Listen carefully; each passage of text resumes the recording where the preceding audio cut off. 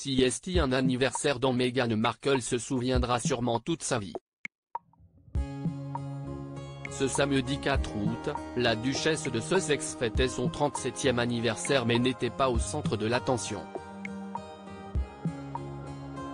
En effet, Meghan Markle et son époux le prince Harry assistaient au mariage des meilleurs amis de fils de Lady Di, Charlie Van Strobanzi et Daisy Jenks.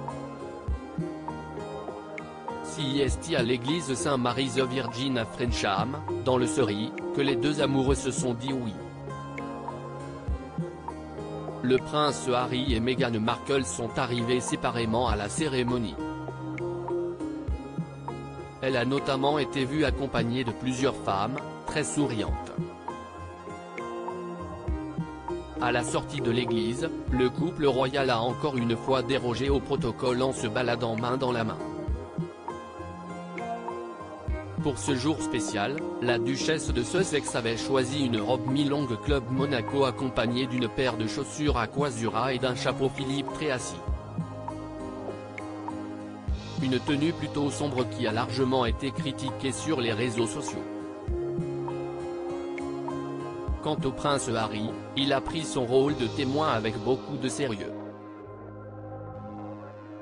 Il faut dire que Charlie Van Strobanzi est très important pour lui. Il était notamment témoin lors de son mariage avec Meghan Markle le 19 mai dernier. Les deux hommes se sont rencontrés alors qu'ils n'étaient âgés que d'une dizaine d'années et qu'ils fréquentaient la Grove School de Workingham, dans le comté du Berkshire.